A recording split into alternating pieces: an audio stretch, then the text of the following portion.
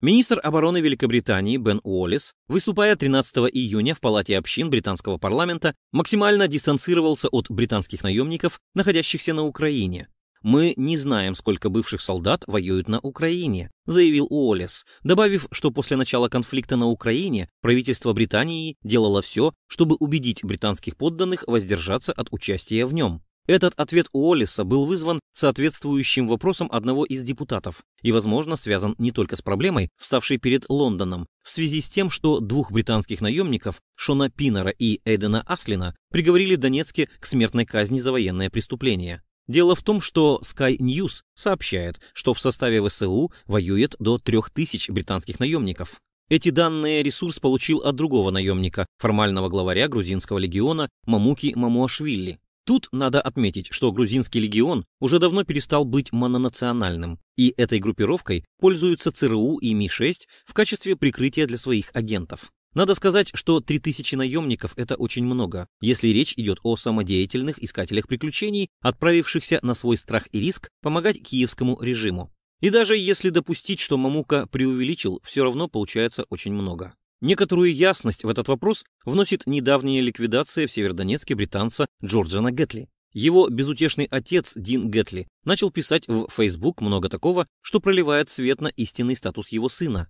Так Дин пишет, что его сын, которому исполнилось 24 года, служил ранее в сухопутных войсках Великобритании, где был на хорошем счету и делал неплохую карьеру. Однако внезапно он увольняется из рядов ВС Британии, чтобы продолжить карьеру солдата в других местах, как сообщил его отец. Итак, молодой и подающий надежды военнослужащий внезапно увольняется из рядов вооруженных сил. Ну что ж, такое бывает. Переоценка ценностей, конфликт с начальством. Хотя о таком отец наверняка бы знал. Но тут отставник немедленно отправляется на Украину, чтобы продолжить карьеру солдата в других местах.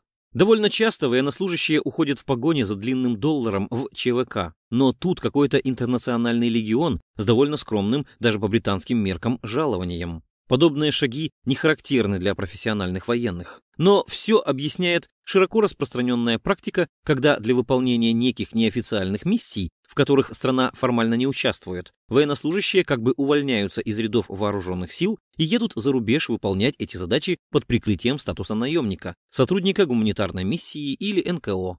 Так, например, широкую и мрачную известность приобрела некоммерческая организация Хейла Траст, под эгидой которой офицеры сил специальных операций Британии обучали минно-взрывному делу боевиков по всему миру, в том числе и террористов на Северном Кавказе. Как правило, после выполнения такого рода миссий отставник, возвратившись домой, восстанавливается в армии, сразу же получая очередное звание и большую денежную премию, а часто и награду. Время, проведенное им в отставке, засчитывается в общий стаж службы с боевым коэффициентом. Таким образом, увольнение носит исключительно номинальный характер, чтобы чиновники, подобные Уоллесу, могли сказать в парламенте, что им ничего не известно о количестве бывших военнослужащих на Украине и о том, чем они занимаются. То есть, если что-то пойдет не так, от них всегда можно откреститься. Ведь, скажем, участие кадровых военнослужащих королевских вооруженных сил в боях против России на стороне Украины чревато большими неприятностями для Лондона. А так он дембель-отставник, вольная птица, которая летит куда хочет на свой страх и риск.